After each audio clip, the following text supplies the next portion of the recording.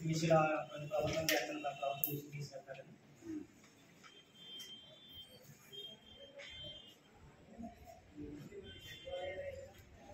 Photo కూడా తీయండి photo కూడా తీయండి.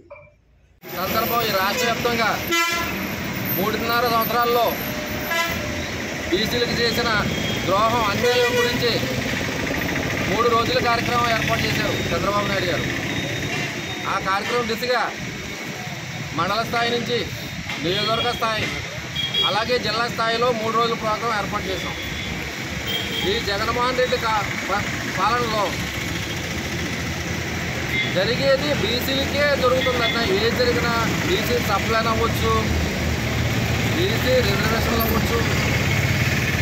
కేసులు ఎవరైతే బీసీ నాయకులు పెద్దలైతే ఎవరైతే ఉన్నారో వాళ్ళ మీద దౌర్జన్యాలు కేసు అరెస్టులు ఆయన మళ్ళీ జేహో బీసీ అనే కార్యక్రమం సిగ్గు లేకుండా సిగ్గు లేకుండా ఈ అన్యాయాలు చేస్తూ బీసీలకు ద్రోహం చేస్తూ ఈ కార్యక్రమం కూడా మొదలుపెట్టారు ఆయన.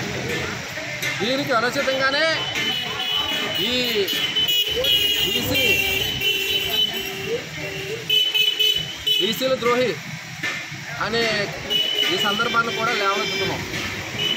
అలాగే తెలుగుదేశం హయాంలో చంద్రబాబు కార్యక్రమంలో ఏదైతే కార్యక్రమాలు అయితే ఉన్నాయో ప్రతి కార్యక్రమాన్ని నిర్వహణ చేసుకుంటూ ఏదైతే ఫీజు రియంబర్స్మెంట్ ఉందో ఏదైతే విదేశ విద్య ఉందో అన్నీ మొత్తం నడుపుకుంటూ కార్యక్రమాలు చేసుకుంటూ వస్తూ వస్తూ ఉన్నాడు ఈ జగన్మోహన్ రెడ్డి.